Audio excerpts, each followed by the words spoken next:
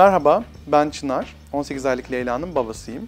Bugün size çocuğunuza müziği nasıl sevdirebilirsiniz onlar hakkında bazı bilgiler paylaşacağım.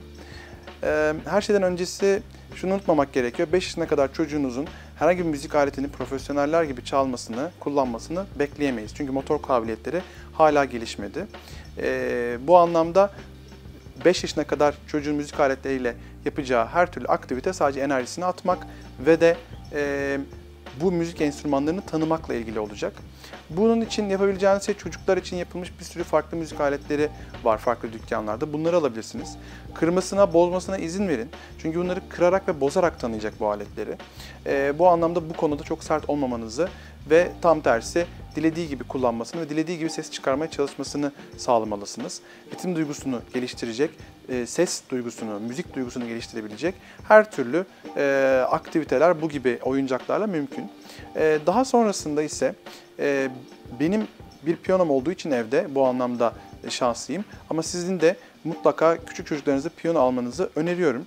E, çünkü piyano sağ ve sol beynin aynı anda çalışmasını sağlayan bir müzik aleti, vurmalı bir müzik aleti ve çocuğunuzun enerjisini atabileceği bir müzik aleti. Yani kolay kolay kıramayacağı, bozamayacağı bir müzik aleti. Bu anlamda piyano çalmasını da eğer ki teşvik ederseniz e, daha doğduğu yıllardan itibaren bu aletten bazı sesler çıkartabiliyor olacak ve müziği yavaş yavaş tanımaya, öğrenmeye başlayacak. Her şeyden önemlisi bu müzik aletlerini siz kendiniz de yapabilirsiniz evde. Ee, bazı kutuların içerisine e, bezelyeler koyabilirsiniz, cevizler koyabilirsiniz ve bunları sallayarak ses çıkarmasını sağlayabilirsiniz. Tekrardan söylüyorum 5 yaşına kadar ona öğreteceğiniz en önemli şey ritim duygusu ve müzik kulağının gelişmesini sağlamak. Eğer siz bir enstrüman çalıyorsanız onu çalın ve onun izlemesini sağlayın.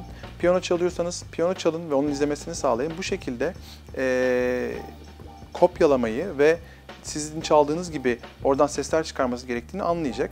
Eğer siz enstrüman çalmıyorsanız da enstrüman çalan insanların videolarını izletebilirsiniz. Doğa, yani 6 aylıktan itibaren bunu yapmanızda ben açıkçası bir engel görmüyorum.